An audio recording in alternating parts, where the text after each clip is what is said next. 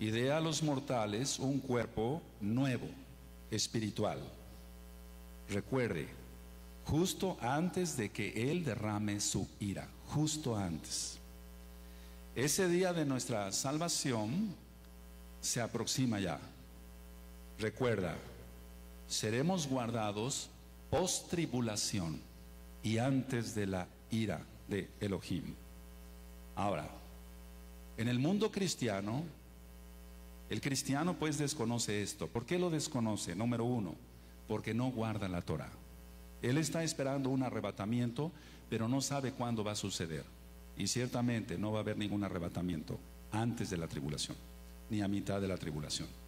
Entonces, como no guarda Torah, no sabe Torah. ¿Cómo va a entender entonces el cristiano, el mundo cristiano, los tiempos que están descritos claramente en las fiestas de Yahweh? Como punto siguiente, urge que ellos comprendan, porque número uno, se basan en el calendario solar. Número dos, están en tinieblas y por eso les amamos y les hablamos. Número tres, guardan fiestas paganas. Número cuatro, por lo tanto, no guardan ni saben el tiempo de Elohim, no saben en qué tiempo estamos. Pero nosotros sí, usted ahora ya lo está descubriendo. Shaul, llamado Pablo, pero su nombre correcto es Shaul, dice que las fiestas, las modim, son sombras proféticas de lo que ha de venir. El verdadero mesiánico entonces, número uno, vive en Kedushá, vive en santidad. Número dos, guarda Torah. Número tres, sabe los tiempos. ¿Y por qué sabemos los tiempos?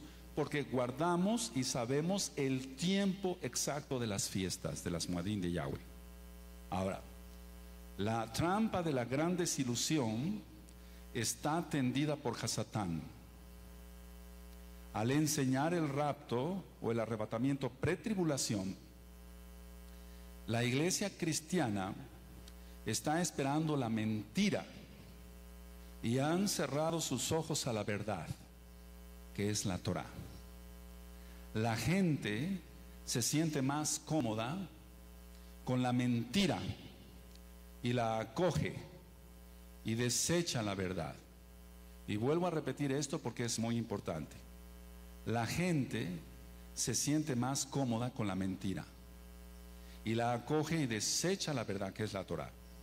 Por lo tanto, para ti, mi amado, amada, en Yahshua HaMashiach que estás aquí, para usted que nos ve a través de este video o nos escucha a través del audio, para ti que ya guardas Torah, seremos juzgados y galardonados por lo que hayamos atesorado en el reino de Elohim y no por la chatarra que, acumulemos, perdón, aquí en la tierra, no por las posesiones económicas, no por esa chatarra seremos juzgados.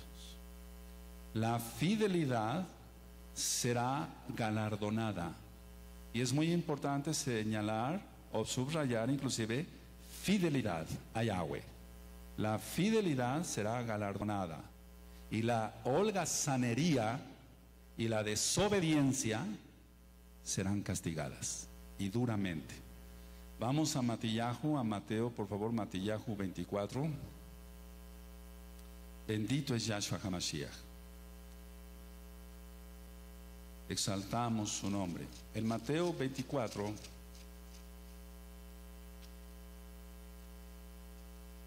vamos al verso, los Pasuquín 42. En adelante. Así que usted quiere el galardón, tiene usted que ser fiel a Yahweh. Y tiene usted que trabajar, y tiene usted que ser obediente y entrar a todos los pactos y cumplir con todos los mandamientos. Dice en Matillahu 24, verso 42, velad pues porque no sabéis a qué hora ha de venir vuestro Adón, nuestro Señor. Pero sabed esto, que si el padre de, la, de, la, de familia supiese a qué hora el ladrón habrá, habría de venir, velaría y no dejaría minar su casa. Por tanto, también vosotros estad preparados porque el Hijo del Hombre vendrá a la hora que no pensáis. ¿Quién es pues el siervo fiel? ¿Se da cuenta? La fidelidad. Y prudente al cual puso su Adón sobre su casa para que les dé el alimento a tiempo. Yo le estoy dando este alimento ahorita de la Torah, no es mi palabra, es la Torah, a esta bella congregación, a esta bella quejilá, Hanabe Shalom, Gozo y Paz aquí en Tehuacán, Puebla, México. Pero también nos está permitiendo compartirle la palabra del Eterno a usted. Yahshua HaMashiach es su nombre. Entonces el 45, ¿quién es pues el siervo fiel y prudente al cual puso su Adón sobre su casa para que les dé el alimento a tiempo? Le estoy dando este alimento a tiempo, a tiempo, es mi obligación. Muy dichoso aquel siervo al cual cuando su Adón, su Señor, venga, le halle haciendo así. De cierto os digo que sobre todos sus bienes le pondrá. Pero si aquel siervo malo dijera en su corazón, mi Adón tarda en venir, y comenzara a golpear a sus consiervos y aún a comer y a beber con los borrachos, vendrá el Señor, el Adón de aquel siervo, en día que éste no espera y a la hora que no sabe. Así está la iglesia cristiana. ¿Por qué? Porque no están siendo fieles a Yahweh y no están obedeciendo ningún mandamiento de Elohim. Y lo castigará, verso 51, duramente y pondrá su parte con los hipócritas. Ahí será el lloro y el crujir de dientes. Por lo tanto, la exhortación hoy es que todos acá nos mantengamos en Kedushá, en santidad. Y usted que es cristiano y que le amamos y por eso le hablamos, le decimos que venga y guarde pronto la Torah, guarde el Shabbat, guarde las fiestas de Yahweh, entre a todos los pactos, incluyendo la circuncisión del corazón y la circuncisión física que no ha pasado. Así que sobre el siervo fiel está hablando aquí Yahshua. Y está hablando también sobre un siervo infiel. Entonces tenemos que entender esto, que la fidelidad va a ser galardonada, pero la holgazanería y la desobediencia van a ser duramente castigadas. Dicen Matillahu que el amor de muchos se va a enfriar y se aborrecerán unos a otros, se entregarán unos a otros a muerte. ¿Por qué? Viene la pregunta. Por ver, y escuche muy bien, la desilusión de que no hubo rapto. Cuando empiecen más calamidades de las que ya estamos viendo y más terremotos de los que ya estamos viendo y más erupciones volcánicas de las que ya estamos viendo, y eh, que el pueblo cristiano comprenda que no hubo un arrebatamiento, ellos van a entregar a los mesiánicos por odio. Y van a decir, he aquí que está un mesiánico que guarda Torah. Ahorita voy a profundizar sobre eso. Vamos a Mateo 24, verso 12. La desilusión de que no hay arrebato va a causar locura en muchos. Y desilusión, porque ellos tienen puesta su mirada en lo material. En Mateo 24, verso 12 dice, y por haberse multiplicado la maldad, el amor de muchos se enfriará. Entonces va a haber una confusión aquí dentro de poco, en todo el mundo más bien, y eso va a crear, valga la redundancia, que se entreguen unos a otros. Todo está listo para el gobierno mundial todo ya está listo para que ese gobierno mundial ya se instaure. La guerra está más cerca de lo que pensamos, para que de ahí surja el anti-Mashiach. Muchos van a poner de pretexto que el rapto ya sucedió y que fueron dejados para seguir predicando. Entonces muchos pastores, entre comillas, famosos, que solamente les interesa el dinero de las ovejas, Van a decir, bueno, el rapto ya sucedió, el arrebatamiento ya sucedió, pero a mí me dejó el Señor para que yo le siga predicando. Esa es una mentira de Satanás. No lo crea, no lo crea. Entonces vuelvo a repetir porque es importante. Muchos van a poner de pretexto que el rapto, que el arrebatamiento ya sucedió y que fueron dejados para seguir predicando. Pongan mucha atención todos acá, usted que nos ve a través de este video. Esto mismo sucedía desde la época de Shaul, llamado Pablo. Shaul es lo correcto.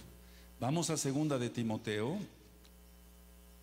y ahorita vamos a entender en segunda de Timoteo capítulo 2, verso 17 y 18.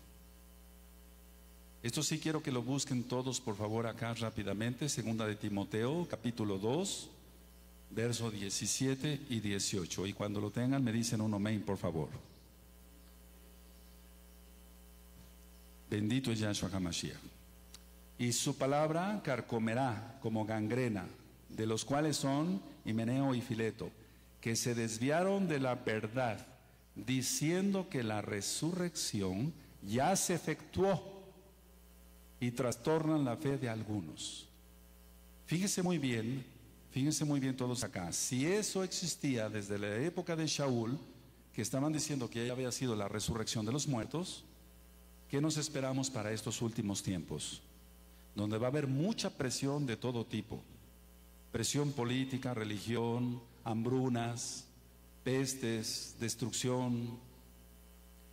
Ahora, la trompeta final es el día del Adón y nuestra reunión con Él, salvándonos de su ira. El nuevo nacimiento, a lo que se refiere en Johanán 3, es precisamente, precisamente perdón, cuando nuestros cuerpos corruptos o mortales sean transformados en un cuerpo que está equipado para el reino de los cielos. Vamos a Johanán, a Juan, porque siempre se había entendido mal. Pero bendito es Yahshua HaMashiach, que Él está derramando más de la lluvia tardía de su Ruach HaKodesh, de su Espíritu Santo, lo correcto es Ruach HaKodesh, para que entendamos bien. Cuando Él está hablando, Yahshua HaMashiach, con Nicodemo, a eso se estaba refiriendo. El nuevo nacimiento, pongan mucha atención todos acá, y usted que nos ve a través de este video amablemente. El nuevo nacimiento no es como el cristianismo dice, recibí a Cristo y nací de nuevo. No. No es inclusive cuando tú, tú, mi amado mesiánico, usted mesiánico que nos ve a través de este video, no es cuando usted dijo, voy a guardar Torah, ya nací de nuevo. Tampoco se está refiriendo a eso Yahshua HaMashiach, sino cuando nuestros cuerpos sean transformados. Johanán 3, 3. Respondió Yahshua y le dijo, de cierto, de cierto te digo, que el que no naciere de nuevo no puede ver el Malchut Shamain, el reino de Elohim. Quiero ser muy enfático que se está refiriendo a cuando suene la final trompeta y nuestros cuerpos sean transformados. Y si estamos muertos, Él nos resucitará. A eso se refiere aquí el nuevo nacimiento no al decir acepto a Cristo, porque eso no existe, y ahora me voy a portar bien.